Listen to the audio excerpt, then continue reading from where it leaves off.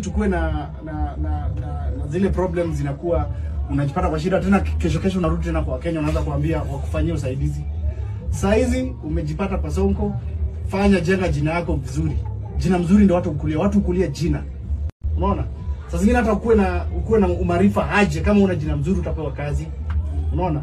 Lazima ukuwe na jina, jenga jina hapo mahali umefika, kuwa na connections, fanya kazi vile inafaa. Kama kuna siku utaiongeza pandishwa cheo, pandishwa cheo na maisha yako yaendelee. Lakini ukirudi hapo mahali huko, sikudanganyi, tutakuwa tunarudi hapa kuchanga story ingine.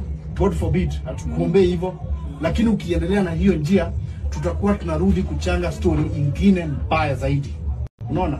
Ama utaenda ndani na utaenda ndani one year ya kutolewa na hakuna mtu atakuhurumia. Hao Wakenya wenye wamejitolea na roboa, wata hakuna mwenye atakuhurumia hata mmoja. Unasikia? Hii ni chance umepewa ndio